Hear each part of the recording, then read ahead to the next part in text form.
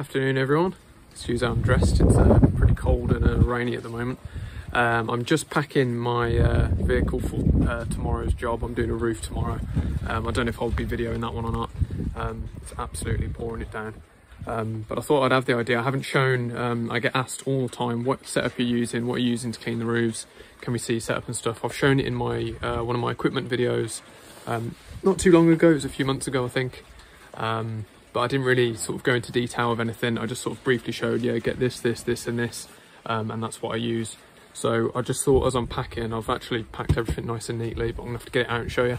Um, basically sort of what I use on a day-to-day -day basis. I'll take you through um, what I use if I'm gonna be getting on ladders as well. Um, and what I'll use if I'm gonna be using a scaffolding tower. Now tomorrow I'm gonna have to be on a roof on ladders. So I'll take you through. I've got harness and a helmet and stuff like that um, that I've bought. Um, yeah, I'll just set this uh, little camera up here and I'll, I'll um, sort of start showing you the stuff. Right, one sec. Right then, I've got my nice, neat packed box of, I pretty much fit almost everything, sort of uh, tool-wise, uh, scraper blades, things like that. Um, I think the Flexi Scrape, I think they bring out like a briefcase uh, type thing. Um, looks like a gun case actually. Um, for the scraper blades, just to keep them all nice and neat at some point. But for now, um, I just use this. So I'll show you what's in this box. Right. So I just work from the top because this is how I've just uh, how I pack it in nice and neatly. Um, this this is a big silver grey uh, chemical suit. Um, so I'm using this for the first time. I must admit I haven't been using one of these before when uh, using biocide, but it gets on your clothes, it stays on your clothes, um, and you're risking contaminating other things. So one of these, this is actually a reusable one. Um, it's like double layered, so outside's waterproof, inside's got like a cotton layer. So I think you can wash it down or at least just wash the outside down um, after every use because you know I think this was about 30 quid so I can't imagine that it's one use, um, hopefully not anyway. Um, I won't put it on but uh, maybe I'll put a picture in of what it looks like on, it's quite funny. Uh, secondly, just a pair of gloves, um, nice and straightforward, you're working on a roof all day, you're going to scratch your hands up, so nice pair of gloves. Uh, box, basically I just keep Allen keys, uh, spares for the scraper set, things like that. Um, when you buy one, um, I'm not sure, it's, it's, probably the same with the Marshall Pro and stuff. Um, sometimes you'll get thrown some spare sort of nuts and bolts in there just in case you lose any of them um, when you're tightening your scrapers up. Uh, next up, uh, what are these? They're nitrile gloves. So these are what you should be using if you are um, handling chemicals and things like that. So even hypo, um, biocides, things like that. Um, I buy these. I was going through like the thicker ones um, for a long time, but you're sort of meant to throw them away after every job anyway. So I was thinking, why am I spending like three, four quid on a pair of like marigolds each time um, when you can buy a hundred of these for about 12 quid, I think, from arco.co.uk. So um, yeah, I'll probably go through about four pairs of these per job because every time I stop to sort of take a break um, or I go and refill up uh, the backpack that I use, um, I'll put on a new pair of gloves afterwards because I've touched my clothes or I've touched my face, you know, things like that. So that's a nice handy thing. Um, right, so next up, so we've got this mask. This is a brand new one, so I've kept this sealed up. I've put the filters on now, so I don't have to worry about it tomorrow, um, but I haven't clicked them in yet. Um, so this is a 3M half face mask. I do recommend getting a full face one, but I haven't found one that doesn't steam up, basically. So I use a half face one and a pair of um, safety glasses. Um, and these filters are ABEK 1 filters. Very important if you're using Biocide to use ABEK 1 filters. So look out for them. Got like the yellow and green sort of Jamaican looking flag on them. Um, they're the filters you want to be using with Biocide. If you're using just dust filters, it's not making a difference. You're still ingesting that chemical. It's a mistake I made for a little while. I'm glad I caught on um, and figured out the correct filters to use. Really, really, really important. Um, these filters won't last forever, so I recommend I'm going to be changing them every job, um, but I recommend sort of changing them very, very regularly. Uh, I'm going to be changing them every single job. Um, I'm not sure if that's too much, but I'd rather be safe than sorry, and I'll just literally price this. The cost of these, I think they're about a tenner for a new set of filters, um, or 14 quid maybe. I'll just price that into the job, so my price will go up by 14 quid from what it normally is. Um, I'd rather be safe than sorry, so I've got a spare set of filters in there as well. And remember, once you've clicked this mask in and you've started using it, it continues to work. So if you do want to sort of stretch it out for a few jobs, I guess, keep it in a sealed uh, Ziploc bag. Um, otherwise, it's just going to keep using sort of fresh air that's coming in. So wherever you keep the mask, uh, really important, most important piece of equipment on the job, in my opinion. Uh. Next up, I suppose, go, I'm not going to go through every single one of them. Some of these are used, some of these are new. Um, yeah, massive hunk of metal and nylon blades. So there's pretty much, I'm not sure if this is the full set, I just keep buying them as I go. Um, every time I think I might need one, I'll just purchase one, but I've got everything. I've got like four different types of pan tiles. Um, these big gigantic double width ones. I think I'm going to use this tomorrow, uh, which I'm looking forward to. Oh, my phone's running out of battery. I'll uh, try and hurry up. Um, there's a skinnier one there. So yeah, basically just loads and loads of blades. So remember, all this fits in one box as well, so you can cram it in.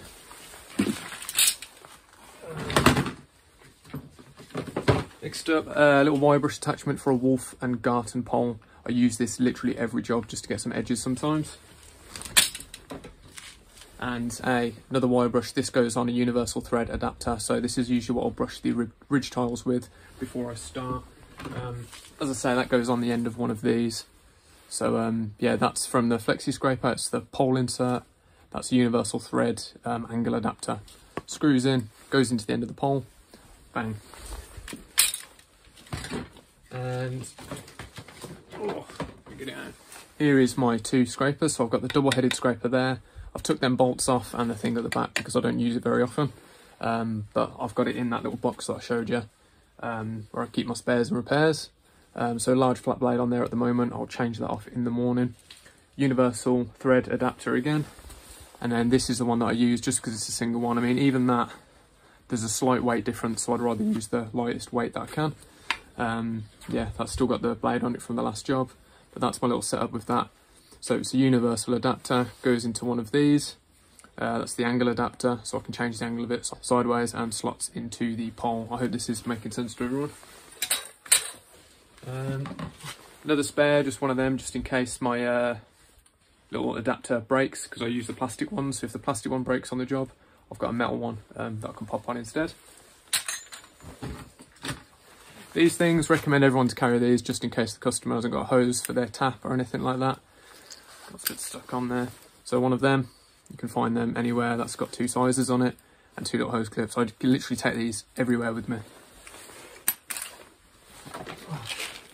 Set of replacement O-clips if any of the connections on the water-fed bowl that I used to brush the biocide in, if any of the uh, hose lock connections go, replacement O-clips because that's happened to me on a job and it's never going to happen again. Biocide was spraying everywhere. Um, I had to keep refilling it. I think I refilled the backpack about 10 times just to get one small roof done. I was trying to catch the runoff in a bucket. Oh, it was a nightmare. So yeah, always carry those now. And then lastly, in my little box, safety glasses, um, tape. Uh, recommend having tape at all times just in case you've got a leak or anything like that. And then it's basically just tape measured screwdrivers, things like that, just in case anything goes wrong. If one of the clamps goes on the water pole, anything like that. Um, yeah, so always got something uh, to sort of fix things on the job if you can. Oh, actually, optional extras. So if you were using a scaffolding tower, they do not supply you with one of these. So bring a level, spirit level um, just to make sure everything's level. So when the tower gets dropped off to you, they won't give you one of these, so bring your own one just so you can make sure everything's safe.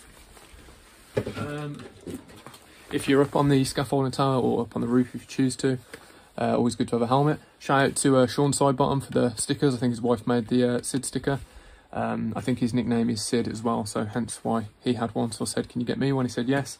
And shout out to uh, Laura. Um, I'll pop her business link in the description. She makes like um, leaflets and stickers and stuff for businesses. So she sent me that, so thank you very much. Um, right, and lastly, on just sort of the random sort of equipment, high vis um, for when you're up doing anything. Just looks better, I guess. Um, and now in here, I have got, so I've got this thing to attach to my harness, which is also in it. I'm gonna have to pack all of this up again now, which is great. So I've got a harness there. This attaches onto that, and then I've got this big chunky giant thing to hook over my ladders so that'll keep me locked into my ladders if I'm on a roof.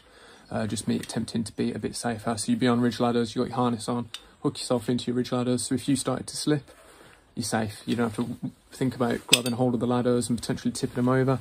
You just hook yourself in and you're perfectly safe. So I'd recommend everyone getting that. It's a fall arrest system basically. Um, if you want to Google that, it'll come up with both of these links. I think it was about 75 quid. Um, there is still some more upgrades I need to get on that. Um, I need to get something that will tie my ladders off to the roof ladders. There's a few more things I need to get, so I'm not perfectly 100% safe there yet, but I'm trying. Okay then, sorry if it sounds like I'm rushing, my phone is just about to die. Um, onto the um, sort of pole section and soft washing section. Um, yes, this is the poorest setup you can get for soft washing. Um, it's 120 quid backpack, uh, but it works for me at the moment. Now I don't have the space at the moment for a big van mounted system, um, but there is something I'm actually going to upgrade to, but I'll do a video on that when I get it. I'm probably going to buy that next month. Um, yeah, facelift, facelift, big boy backpack 2, 22 litre backpack. Um, simple as you fill it up with one litre of uh, biocide, 20 litres of water, um, and off you go. Um, it works well. I use it on max power now. Turned all the way up. Actually, I use it on the boosted one. So, yeah, basically on max power, um, which brings me over to the uh, how you are getting it on the roof. This is a 30 foot Renegade pole. I think it's a Phoenix brush head. Um, very good. It's got four pencil jets in it, so it blasts out the uh, liquid straight onto the roof. Uh, a nice customer for me actually replaced this because this broke off on my second job. The screws are crap in it, so the customer, fair play to him, he took it straight in his garage and fixed it for me. So yeah, thank you very much to him. Uh, another angle adapter on there, angle it sort of down towards the roof usually. Um, so that's a 30 foot pole. Um, now this is a 20 foot, 25 foot Renegade pole. Um, sometimes I'll swap out to the 30 if I need to, um, but I put my scraper in that one usually um, and scrape the roof with that pole. And you have a second pole then dedicated to soft washing so you don't have to take your pole hose out, your univalve, whatever you're using, um, because that can be quite a faff to switch poles. Uh, right, thirdly, this is the Wolfengarten pole I was on about, the red one. I think this is like 18 feet or something, 20 feet maybe. Um, now, if you remember, I said you could attach a wire brush in the top. There is like a universal fitting uh, not a universal fitting, like a special fitting on this thing, which looks like this. I do actually have the flexi scraper attachment as well. So if all of my fittings broke, I could whack my flexi scraper onto this pole instead. But yeah, so I've got a broom attachment for cleaning up at the end and a wire brush attachment for um, getting some of them nice detailed parts on the roof. Uh, that's all for the pole section. I'll go through the sort of ladder section now, any little accessories that I use on a day-to-day -day basis. Um, and then I think that should be it actually. Right then, and finally, so uh, actually I'll go through this first. Your chemicals that you want to be using, I just have my little dedicated chemical bucket there. Measuring jug, uh, biocide of your choice. Uh, GK Pro, Algoclear Pro, Benz is also good. Um, some people use uh, yeah, uh, sodium hypochlorite on their roofs. I don't use that on roofs, I use that on driveways only um, and patios and stuff. Um, so yeah, biocide of your choice. Just keep it safe, keep it sort of locked up and away if you can, out of the reach of children and things like that. Um, so ladder equipment, if you are going to be using ladders for any part of the job, bungalows, you know, whatever, you shouldn't use it. But if you have to, like the job tomorrow I'm doing, I have to, I don't have a choice. No, nowhere to put scaffold in, it's my only option. Um, right, ladder standoff, very important. Really good bit of kit. I do recommend the Microlite one instead. Um, if you type that in, you'll find it. It's got wheels on it um, and it creates like pressure on the wheels. The wheels sort of flatten a bit. Amazing piece of kit. I'm going to upgrade to that next month or probably in a few weeks. Uh, these things that I found are really good. They're called a ladder mate. I believe is it ladder mate? Yes, ladder mate. They sort of extend and move. This thing changes to the whip, so you can sort of pop them in the bottom rung of your ladders. It's a stabilizer essentially for the bottom of your ladders. Your ladders will not go anywhere with this thing on. Um, they're actually meant to be the other way around. Um, but if there's a drop down, if you put in your ladders and there's like a step below it, these things go low enough that you can put them off the step. That it's a really good bit of kit. Um, heavy duty rubber mats, you can use a ladder matrix instead, but they do the same job. It's not, that's me putting loads of pressure on it. It's not going anywhere. You know, you have to really boot it to get it to move. Um, and a ladder step, I use this all the time now. Just hooks over the rung that you, well, the rung above that you're standing on. Stand on that. Um, it's a bit small for me, I've got quite big feet. If it was a little bit bigger, it would be the best thing in the world, but it does the job. It's better than standing on a rung that's like that thick all day long. Um, that's about it. There's one more thing I'll show you, and then I'm done actually. Right now, obviously, you want a pair of ladders, um, or a tower preferably, but yeah. So there's a pair of ladders. Um, these are the ladder hooks to go over the roof. Now this is just a single extension ladder that I use. Um, I think these were like from Halfords or something, but they are actually really, really good. Um, they're really sturdy. They do not move an inch as long as you set them up correctly. Um, brilliant, brilliant piece of kit. Obviously, they hook over the uh, ridge tiles of the house, and um, yeah, you go on the ladders from there. Brilliant. Right then, so that's all from me. I hope that's answered everyone's questions. Um, if there's any certain product that I've shown in this video that you want to know more about, um, just give me a shout in the comments. I'll let you know where I got it from, um, if possible. Um, yeah, I think that's about it. Sorry if I sort of brushed over everything really quick, but um, there's not really much to say about it. It's quite straightforward stuff. Um, but yeah, I think all in all, the total budget from that stuff is probably around a grand. You could probably get all of that stuff for maybe even less if you uh, shopped better than I do. Um, but yeah, that's all from me. I will have a video out very, very soon. Um, so I hope you enjoyed that little sort of roof cleaning setup. I don't know what I'll call it. It'll be like everything you need to start roof cleaning or everything I use for roof cleaning, but that is it. That's sort of my entire kit. Um, obviously there might be little things like a few wire brushes here and there or, you know, tiny little things, bags, uh, waste bags, you know, uh, gutter socks if you want to catch some runoff, things like that. Um, but yeah, you, you, know, make it up as you go along. Um, you'll figure out that's sort of the core amount of stuff that I use anyway. Um, I don't really go anywhere without all of that kit. So yeah, cheers for watching. Thank you very much.